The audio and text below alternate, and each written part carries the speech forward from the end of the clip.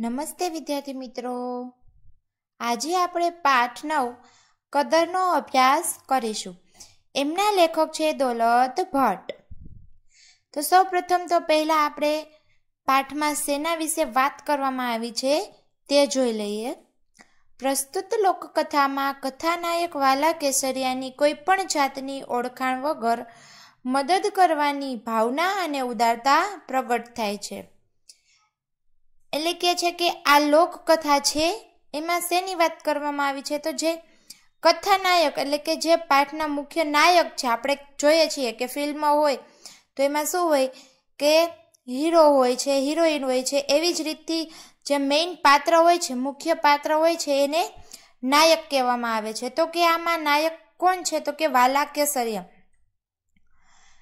એને કોઈ પણ જાતની ઓળખાણ વગર એ શું કરે છે કે કોઈને મદદ કરે છે. એની ઉદારતા કેવી છે એ આપણે આમાં જોઈશું. રાઘોબા અમરેલીના સુબા બન્યા પછી પોતાની આબરૂના રખેવાળને યાદ કરી કદર કરવાનું ભૂલતા નથી. આ વાત અહીં લોકકથાની શૈલીમાં રજૂ કરવામાં આવી છે કે બીજું પાત્ર છે રાઘોબા. એ અમરેલીના સુબા એટલે કે રાજા બન્યા પછી એમને જેને મદદ કરી હતી એમની કદર કરવાનું એટલે કે આભાર માનવાનું ભૂલતા નથી. એ વાત આમાં રજૂ કરવામાં આવી છે. ચાલો, હવે આપણે પાઠની સમજૂતી મેળવીએ. કર્ણુકી નદી આમ તો નાનકડી, એટલે કે છે કે કર્ણુકી નદી છે એ તો આમ નાનકડી એવી છે. પ્રવાહે પાતળો, પણ એનો કાંઠો બારેય માસ લીલો કુંજાર રહેતો. કે એનો પ્રવાહ છે એ કેવો હતો કે પાતળો હતો. હતી નાનકડી નદી. પ્રવાહે પાતળો હતો. પણ કાંઠો છે એ કેવો હતો તો કે બારે માસ લીલોછમ રહેતો. કર્ણુકીનો કાંઠો ચરી એના ટોપરા જેવા પાણી પીને પશુઓ ગામમાં પાછા વળતા. કે કર્ણુકી નદીને કિનારે ઢોરાઓ ચરવા જતા તો ચરીને પછી કાંઠે પાણી પી એના પાણી કેવા હતા તો કે નાળિયેરના મીઠા પાણી જેવા હતા. અને પાછા છે પશુઓ એ ગામમાં આવતા. આવી રૂપકડી કરણુકીના કાંઠે ગળણી ગામ આવેલું. આવી રૂપકડી એટલે કે સુંદરતા. આવી સુંદર એવી નદીના કાંઠે ગળણી ગામ આવેલું છે. ગળણી ગામ તો ખોબા જેવડું, પણ એની રૂડપ ઉડીને આંખે વળગે એવી. ગરણી ગામ છે એ ખોબા જેવડું એટલે કે સાવ નાનકડું હતું. પણ એની રૂડપ, એની સુંદરતા છે એ કેવી હતી તો કે ઉડીને આંખે વળગે. એટલે તરત જ ગમી જાય એવું. ગામમાં વસનારા માણસો ઓલદોલ. કે ગામમાં જે લોકો રહેતા એ જાત જાતના હતા. તેમાં સૌ કરતા સવાયો એક આદમી વાલો.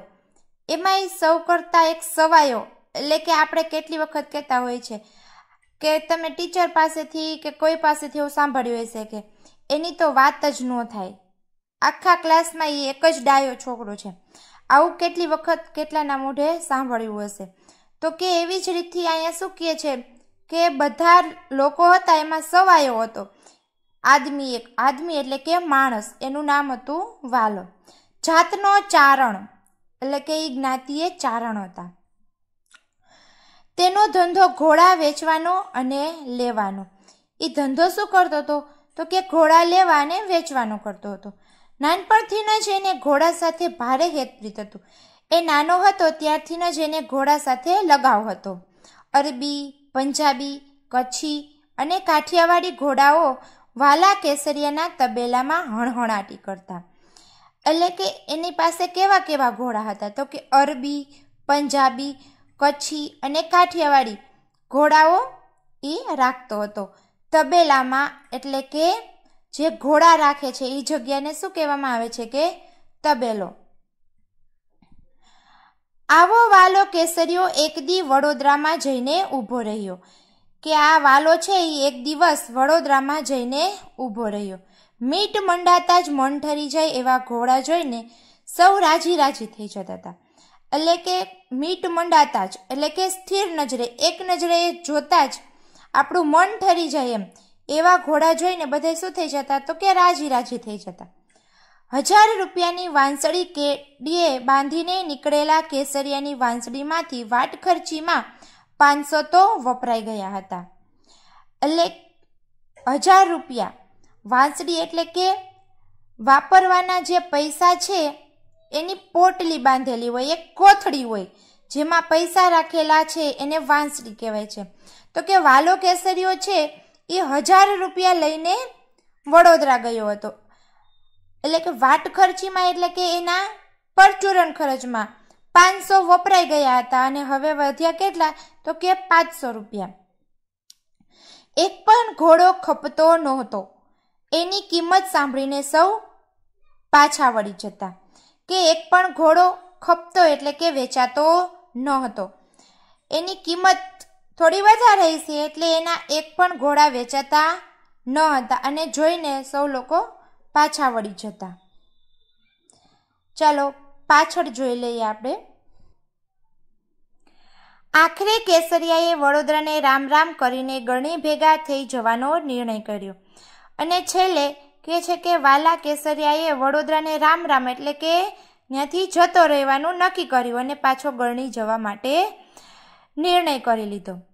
વડોદરા ઉપર ભગવાન સૂરજદાદાના તેજ પથરાવા માંડ્યા કે વડોદરા ઉપર ભગવાન સૂરજદાદા એટલે કે સૂરજના તેજ પથરાવા માંડ્યા એટલે કે તડકો થવા માંડ્યો. જાતવંત પાંચ ઘોડાઓને દોરીને વાલા કેસરિયાએ વડોદરાને વેગડું મૂકવા પગ ઉપાડ્યા. જાતવંત એટલે કે ખાનદાની. પાંચ ઘોડાઓ લઈ અને વાલો છે એ વડોદરાને વેગડું એટલે કે અલગ વડોદરાથી જવા માટે એમ. પગ ઉપાડ્યા એટલે કે નીકળ્યું. પાણી પંથા ઘોડાઓ અને પાછા વગર અસવારના પછી એની ચાલમાં શું પૂછવું? એટલે કે પાણી પંથા. એટલે આપણે અગાઉ જોઈ લીધું છે કે પાણીના પ્રવાહે એવી જ રીતથી પાણી પંથા એટલે કે સારા એવા ઘોડાઓ.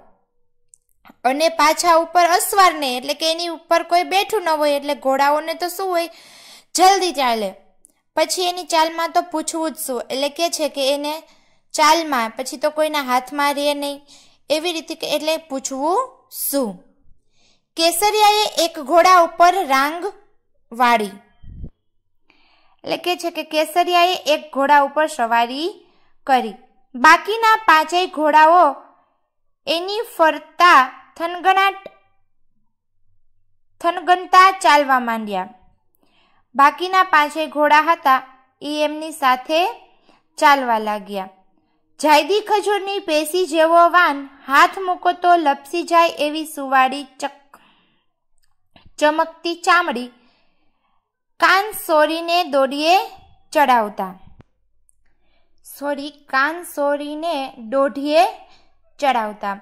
એટલે કે છે કે જાયદી ખજૂરની પેશી જેવો વાન. એટલે કે જાયદી ખજૂર છે એ એક ખજૂરની જાતનું નામ છે. વાન એટલે કે રંગ. હાથ મૂકો ત્યાં લપસી જાય એવી એની સુવાળી ચમકતી ચામડી હતી કે. કાન દોઢ, કાન સોરીને દોઢીએ ચડાવવા. એટલે કે સતર્ક થઈને સતર્ક એટલે કે આમ? આપણે શું કહેવાય? આમ એકદમ તૈયાર રહીને. જાણે ભગવાનને ઘરેથી મલમલ ઓઢીને આવ્યા હોય એવા ઘોડાઓ રમતે ચડ્યા. કે ઘોડાઓ છે એ ભગવાનના ઘરેથી મલમલ એટલે કે આપણે વેલવેટ જે કહીએ છીએ, એકદમ લીસું લીસું હોય એવું. ઓઢીને આવ્યા હોય એવા ઘોડાઓ રમતે ચડ્યા કે ઘોડાઓ રમવા લાગ્યા. વાલાનું મન આજ વડોદરા માથેથી ઉઠી ગયું છે કે વાલાનું મન હવે વડોદરા ઉપરથી ઉઠી ગયું છે. ઝટ પોતાના ગામ ગરણી ભેગા થવા મનમાં અજંપો લાગ્યો છે. એટલે કે છે કે હવે વાલાને જલ્દી એના ઘરે જવું છે. અજંપો એટલે કે તાલ આવેલી લાગી છે. એમ કે ઉતાવળ છે એમ. પણ ગરણી કાંઈ થો, કાંઈ ઘોડાને ઘરે થોડું છે? કે એટલે કે છે કે ગરણી કાંઈ થોડું કાંઈથી નજીક છે? વાટ ખર્ચીની વધેલી પાંચસો રૂપિયાની વાંસળી કેડીએ બાંધે છે. વાટ ખર્ચ એટલે કે વાપરવા માટેના જે પાંચસો રૂપિયા વધ્યા હતા એ વાંસળી કેળે બાંધી છે? પોતાની ખોરાકી અને ઘોડાના જોગાની જોગવાઈ એમાં ભલી ભાતીએ થઈ જશે એવી ધરપત હૈયામાં છે.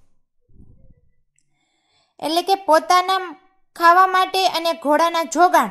જોગાણ એટલે શું? કે જે ઘોડાને ખાવા માટે જે આપવામાં આવે છે ખોરાક એને જોગાણ કહેવાય. એને કે એની જોગવાઈ. એટલે કે એની એને જોગવાઈ કરી રાખી છે. એટલે એને હૈયે ધરપત, એટલે કે હૈયામાં એને શાંતિ છે હૃદયમાં કે આ પાંચસો રૂપિયા છે એનાથી મારો ખોરાક અને ઘોડા માટેનો ખોરાક પણ આવી જશે. વડોદરાની બહાર પગ દીધો ત્યાં તો એક ખોરડામાંથી ગોદડા, ઠામ, વાસણ, ઘરની નાની મોટી તમામ જણસોનો ઢગલો જાતે ભાડ્યો. કે વાલો વડોદરાની બહાર જ્યાં પગ મૂકે છે, ત્યાં જ એક ખોરડા એટલે કે એક ઘરમાંથી ગોદડા, ઠામ વાસણ, ઘરની નાની મોટી તમામ જણસો એટલે કે ઘરની ચીજ વસ્તુઓનો ઢગલો જાતે ભાડ્યો એટલે કે પોતે જોયો. બેક ડગલા આગળ હાલ્યો, ત્યાં નાના છોકરાના કાળજા કંપાવે એવા કાળા બોકાસા સંભળાણા. એ કે બેક ડગલા આગળ ચાલ્યો. ત્યાં નાના છોકરો રોતું હોય કાળજું, એટલે કે આપણું હૃદય ધ્રુજી ઉઠે. એવું કાળું બોકાસા, એટલે કે એવો રોવાનો અવાજ સંભળાવા લાગ્યો. ગુણા હૈયાવાળા વાલા કેસરિયાની ઘોડાની લગામ તણાઈ ગઈ. કે કૂણું, એટલે કે નાજુક એવા હૈયાવાળા કે જેને આમ થોડુંક કંઈક લાગી આવે, તરત જ કંઈક એવું બનતું હોય, તો આપણે કેટલી વખત જોયું હોય કે આપણે કોકને કંઈક કહી, તો તરત જ કોકને ખોટું લાગી જતું હોય. અથવા તો એનું દિલ કોકને કંઈક થયું હોય, કોકને લાગ્યું હોય, તો તરત એને મદદ કરવા પહોંચી જાય. એવા વાલા કેસરિયાની ઘોડાની લગામ તણાઈ ગઈ. એટલે કે ઘોડો છે એ એને લગામ, જે ઘોડાની આપણે બાંધેલી દોરી હોય એને ખેંચવા માટે, ઊભા રાખવા માટે. એને લગામ કહે છે, તો કે એ તણાઈ ગઈ. તમાશો જોવા ટોળું ભેગું થયું હતું. હવે આપણે કેટલી વખત જોયું જ છે કે કંઈક નવીન ઘટના ઘટતી હોય, ત્યાં લોકો છે એ ભેગા થઈ ગયા હોય. ઘોડેથી ઉતરીને ટોળાને વિંધીને વાલો ઘરની લગોલગ જઈને ઊભો રહ્યો. કે એ આખું ટોળું વિંધી, એટલે કે ટોળા, સોસરો, વાલો છે એ છેક ઘરની લગોલગ એટલે કે પાસે જઈને ઊભો રહ્યો. જોતા જ કેસરીઓ મામલો પામી ગયો. કે કેસરિયાને જોતા જ ખબર પડી ગઈ કે આ મામલો એટલે કે આમાં શું બનાવ બની ગયો છે. લેણદારની ટાપ ઉતરી હતી. લેણદાર એટલે કે જે પૈસા માગતા હોય, ટાપ એટલે કે જે પૈસા માગે છે એ ત્યાં આવી પહોંચ્યા છે. એની ફોજ ત્યાં ઉતરી ગઈ. ગાભા, ગોદડા, ઠામ, ઠીકરા, ઠેબે આવતા હતા. એટલે કે છે કે એની જે બધી વસ્તુ હતી, ઘરની ઘર વખરી, ગોદડા ને કપડાં ને બધું હતું એ ઓલા લોકોએ બારે ફેંકી દીધું હતું. એટલે કે એ ઠેબે આવતા હતા, એટલે કે પગમાં આવતા હતા. યુવાન મરાઠાના મોં ઉપર મસ વળી ગઈ હતી. કે યુવાન મરાઠો છે એના મોં ઉપર લાચારી દેખાઈ રહી હતી. ટામ્પ લઈને આવનાર શેઠ ઉપર વાલાએ નજર ધ્રોબી સવાલ કર્યો કે જે ફોજ લઈને આવેલા હતા. શેઠ એના ઉપર વાલાએ નજર ધ્રોબી એટલે કે એને પૂછ્યું. શેઠ કેટલા રૂપિયાનું લેણું? આંકડો બોલો. વાલો કહે છે કે શેઠ, તમારે કેટલા રૂપિયાનું લેણું છે? તમે આંકડો બોલો. ભાઈ, તારો માર્ગ તારી રાહ જોવે છે. હાલ તો થા. એટલે એ શેઠ કહે છે કે, ભાઈ, તું તારા રસ્તે ચાલતો જા. તારો રસ્તો છે એ તારી રાહ જોવે છે. શેઠના અવાજમાંથી તિરસ્કાર છૂટ્યો. એટલે શેઠ આમ કંઈક ભારમાં બોલાય. બાપ, બોલો કેટલાનું લેણું? એટલે એ વિનંતી કરે છે કે, બાપા, તમે બોલો એમ કે કેટલા પૈસાનું આ છોકરા પાસેથી તમારે લેણું છે? આ છોકરાના આહુડા મારાથી જોવાતા નથી. કે છે કે